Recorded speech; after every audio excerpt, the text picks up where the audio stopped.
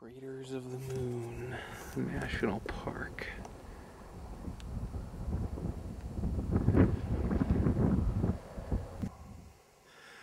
See, here at uh, Craters of the Moon National Park, what happens here is that uh, rock formations are, are built up and compressed in the center of the earth and then they, they come up and they get put into this national park here and, and the stones actually become uh, black and smooth like and it's all uh, very scientific because geology and uh, all these things happen to um, bring the tourists here so that the, the parks can get money and people can come look at these uh, beautiful scientific things in our world.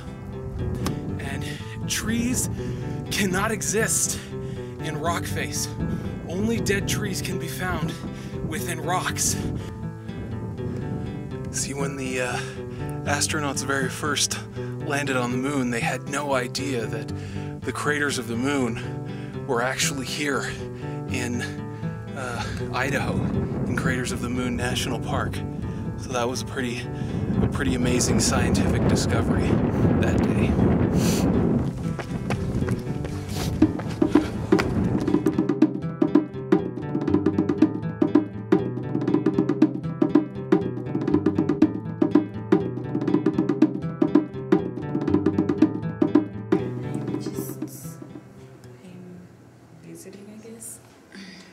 is what map?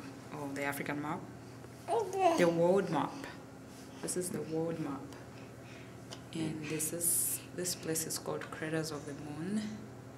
And I'm gonna put a pin on the country where I'm from, which is Zambia. What else do you want me to say?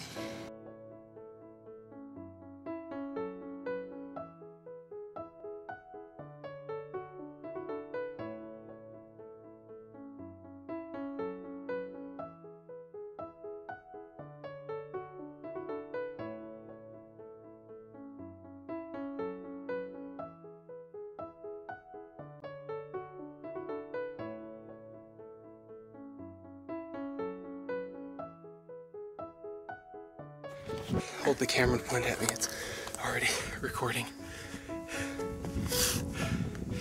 Geology. It's the science that encompasses um, the forming of hard things, which is why the um, scientific nature of the life within rocks, it's all uh, very scientific